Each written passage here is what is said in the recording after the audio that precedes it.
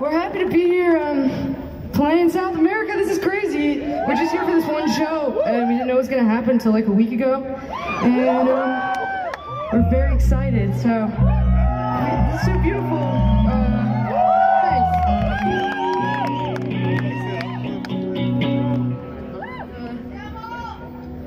Uh,